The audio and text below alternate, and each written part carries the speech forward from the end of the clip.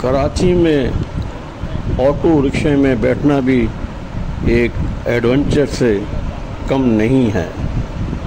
کیونکہ دنیا میں سنا ہے الیکٹرانک آٹو رکشہ آ گئے ہیں، لیکن یہاں ابھی تک وہی رکشہ ہے جو کہ سی این جی پر چلتا ہے۔ اور جہاں روڈ بہت چھوٹا ہو ٹریفک زیادہ ہو تو یہ آٹو رکشے بڑی مہارت سے یہ گاڑی وہاں سے آٹو رکشہ وہاں سے نکال لیتے ہیں۔ کسی فورنر سے کسی نے پوچھا کراچی کی سب سے خطرناک سواری کون سی ہے؟ اس نے کہا آٹو رکشہ۔ یہ سامنے رائٹ ہینڈ کی طرف گلی کے اندر اکال بونگلے کا علاقہ ہے اسے اکال بونگلہ کہا جاتا ہے وہ جو سامنے آپ کو عمارت نظر آ رہی ہے وہ ایس ٹی فرانسس اسکول ہے برٹش کے وقت کا آپ دونوں طرف دیکھتے جائیں یہاں ہر قسم کی لکڑی آپ کو ملے گی چسپ بورڈ اور ہارڈ بورڈ اور ونڈوز، ڈور۔ لکڑی کا جو بھی سامان ہے آپ کو یہاں ملے گا اور مناسب داموں میں، کیونکہ یہ ہول سیل شاپس ہیں اور ان کے بڑے بڑے گودام ہیں، اس لیے یہ لوگ ریاض سے یہ سامان آپ کو دے دیتے ہیں۔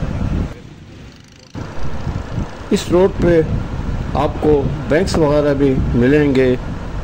عسکری بینک بینک الحب بینک الحبیب اور دوسرے بینک۔ یہاں وزن کا کانٹا بھی موجود ہے۔ رمضان کانٹے کے نام سے وہ سامنے نظر آ رہا ہے۔ یہ سو ٹن کا کانٹا ہے۔ سو ٹن وزن اس پہ آدمی وزن کروا سکتا ہے۔ اب ہم رائٹ ہینڈ کی طرف مڑتے ہیں۔ سامنے رنچولین کا علاقہ ہے۔ اگر آپ لیفٹ ہینڈ کی طرف چلا چلے جائیں گے تو آگے جا کے بکرا پیڑھی کے نام سے جگہ ہے جہاں بکرا منڈی لگتی ہے۔ وہاں بھینسیں بھی گائیں بھی آپ کو ملتی ہیں۔ عید الضحیٰ کے علاوہ بھی وہاں منڈی لگتی ہے، وہ پرمنٹ منڈی ہے۔ ہم جا رہے ہیں آگے۔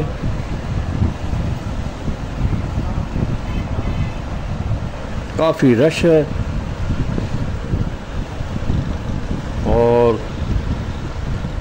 گرمی بہت زیادہ ہے، جیسا کہ میں پہل پہلے بتا چکا ہوں کہ کراچی میں آج کل گرمی، امارات جیسی گرمی پڑ رہی ہے، دبئی جیسی گرمی پڑ رہی ہے۔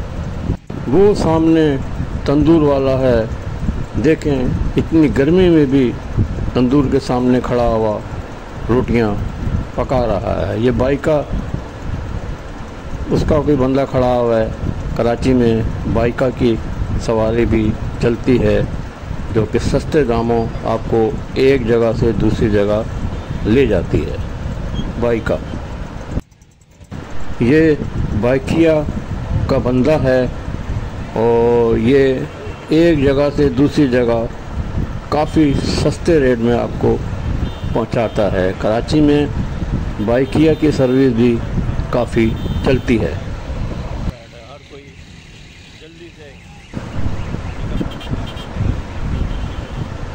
یہ بندہ جو آ رہا ہے، دیکھیں کتنی مشکل سے چل رہا ہے۔ اس کے پیروں میں شاید تکلیف ہے۔ اس رکشے والے نے اس کو منع کر دیا ہے یا جگہ نہیں ہے۔ یہ دوسری رکشے کی طرف جا رہا ہے۔ آٹو کی طرف شکر ہے اسے یہاں جگہ مل گئی۔ شدید گرمی پڑ رہی ہے۔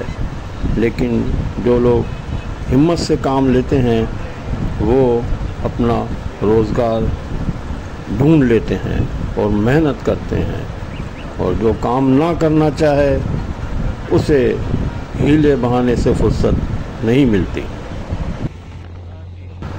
یہ حیدری کا علاقہ ہے اور شام کے وقت یہاں بہت زیادہ رش ہوتی ہے۔ آپ دیکھ رہے ہیں، دونوں طرف شادی ہال بنے ہوئے ہیں اور رات کو ان پہ کافی ساری لائٹنگ ہوتی ہے اور یعنی یہاں سے آپ کو گاڑی پارک کرنا بھی ایک مسئلہ ہوتا ہے، حتیٰ کہ بائک نکالنا بھی ایک مسئلہ ہوتا ہے، اتنا رش ہوتا ہے یہاں۔ سامنے خوبصورت ٹرمینل ہے جہاں سے گرین بسیں ایک جگہ سے دوسری جگہ جاتی ہیں اور ان کا کرایہ جو ہے وہ ففٹی فائیو روپیس ہے۔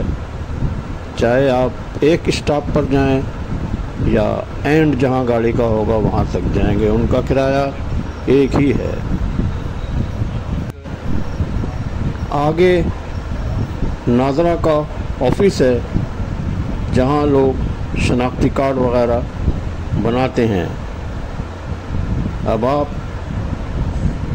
لیفٹ ہینڈ کی طرف دیکھتے جائیں، آپ کو آفس بھی نظر آئے گا، ناظرہ لکھا ہوا ہے اور وہاں کافی لائن بھی آپ کو نظر آئے گی۔ اب آگے حیدری مارکیٹ آ رہی ہے لیفٹ ہینڈ پر۔ اس کے سامنے خوبصورت پارک بنا ہوا ہے اور آگے حیدری مارکیٹ ہے۔ آپ دیکھیں گے یہاں کپڑے وغیرہ اچھی کوالٹی کے کپڑے آپ کو ملتے ہیں۔ لوگ یہاں خریداری کرتے ہیں اور اپنی پسند کی ڈریسز لے جاتے ہیں۔ Thanks for watching this video سب کا نگہبان، اللہ مہربان۔ ان دعاؤں کے ساتھ اجازت، جہاں رہیں، خوش رہیں۔ سب کا نگہبان، اللہ مہربان۔